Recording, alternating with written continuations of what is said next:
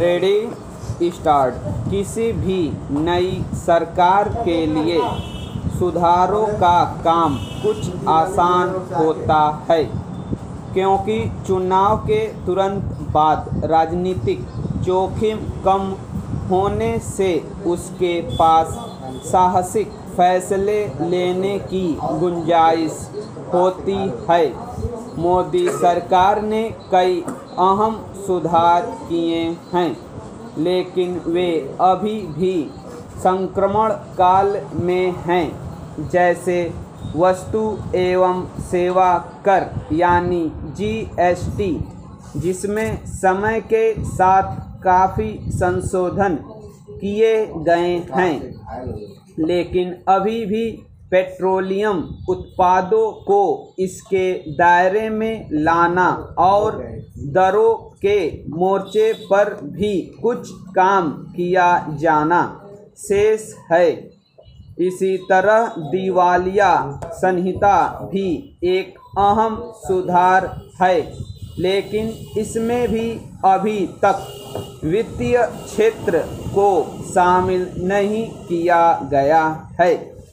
अभी भी भूमि सुधारों और श्रम सुधारों को मूर्त रूप दिया जाना बाकी है।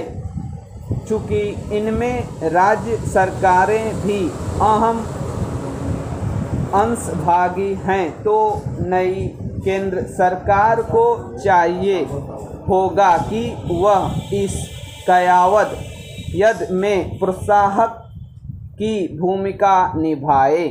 कुल मिलाकर नई सरकार के लिए यह आवश्यक होगा कि वह नए सुधारों को लागू करने के साथ पहले किए जा चुके।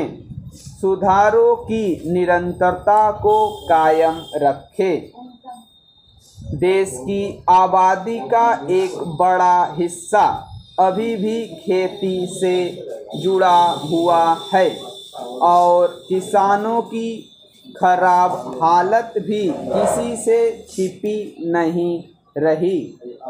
इसलिए सरकार को कृषि और किसानों की भलाई के लिए भी अविलंब कदम उठाने होंगे।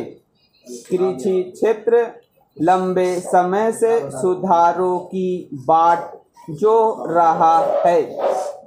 इसकी काया पलट देश की एक बड़ी आबादी का जीवन बेहतर बनाने में सक्षम है। इसके लिए सरकार निजी क्षेत्र को कृषि के साथ जोड़े। चूँकि काफ़ी मात्रा में खाद्यान्न उत्पाद बाज़ार तक पहुँचने से पहले ही खराब हो जाते हैं। इसलिए यह संभव बनाया जाए कि खाद्यान्न प्रसंस्करण का दायरा बढ़ाकर उसमें उनका इस्तेमाल किया जाए। केंद्र सरकार राज्यों के साथ मिलकर कृषि सुधारों को अमली जामा पहनाए। उत्पादकता बढ़ाने के लिए भी सभी स्तरों पर प्रयास किए जाने चाहिए। वैसे तो भारत और चीन के पास कृषि योग्य भूमि बराबर है। फिर भी चीन का उत्पादन भारत से दोगुना अधिक है।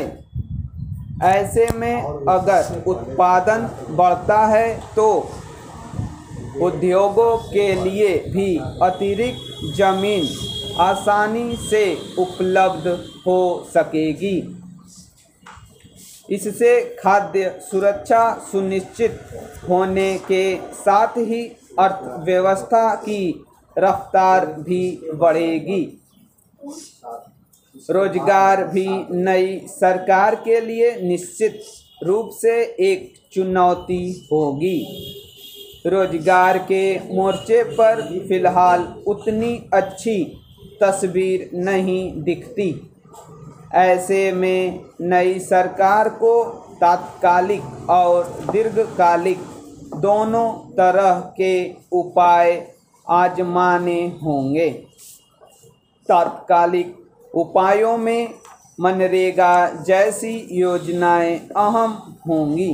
तो दीर्घ, दीर्घावधि योजनाओं के लिए कौशल विकास को बढ़ावा देना आवश्यक होगा।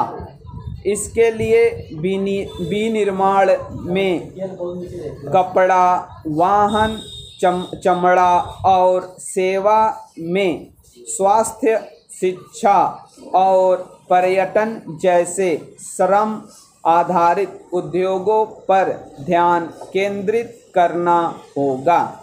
इस हकीकत से भी इनकार नहीं किया जा सकता कि बदलते वक्त के साथ ऑटोमेशन को अपनाया जा रहा है। इससे परंपरागत नौकरियाँ खतरे में पड़ेंगी लेकिन इससे नई तकनीकी नौकरियाँ की राह भी खुल खुलेंगी। नौकरियों? नौकरियों नौकरियों की राह खुलेंगी। नौकरियों